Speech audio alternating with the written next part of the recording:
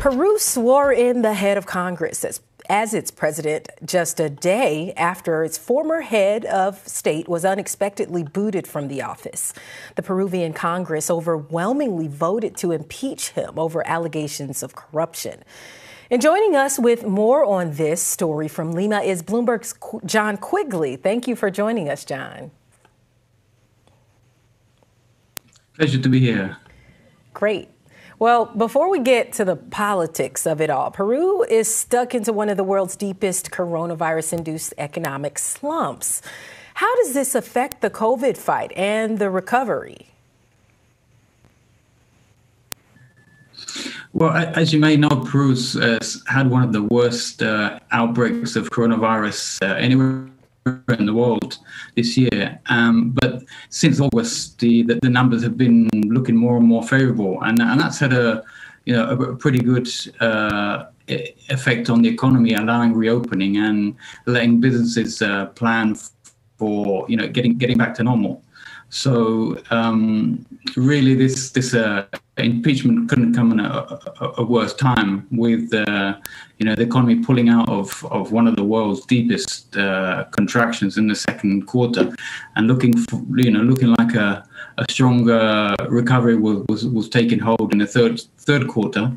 But obviously now businesses uh, and the country in general is just facing a lot of uncertainty. Now, the president's removal comes just five months before the next general election that's scheduled for April. What happens to that now? Is it still going to happen in April, or what might happen?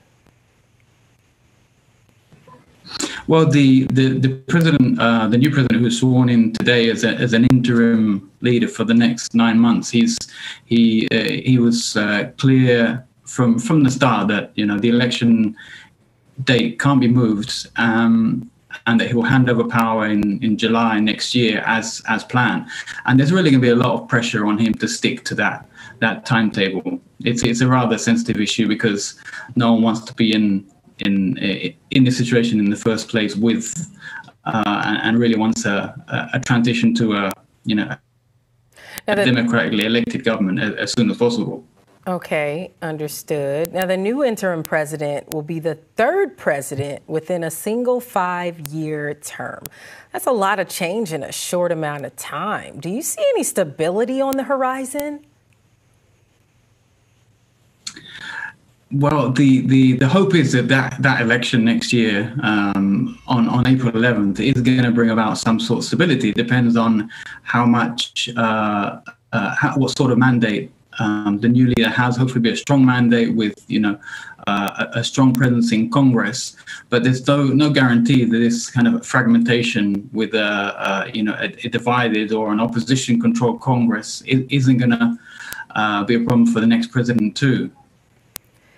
Now, just as we talked about not too long ago, Peru has since been among the countries worst hit by COVID 19, and the economy shrank 30 percent in the second quarter. Now, how do you see that practically in your daily life? How difficult is it for these, um, for the people in the lowest income groups?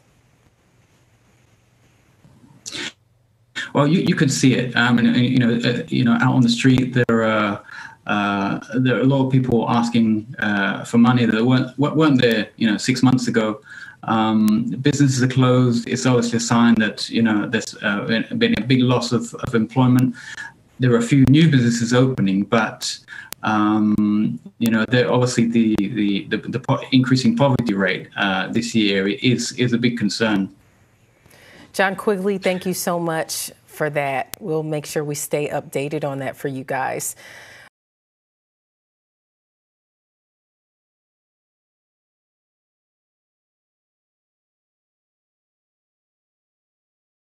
The biggest stories the moment they happen from around the globe. Subscribe to Bloomberg Quicktake now for insight in an instant.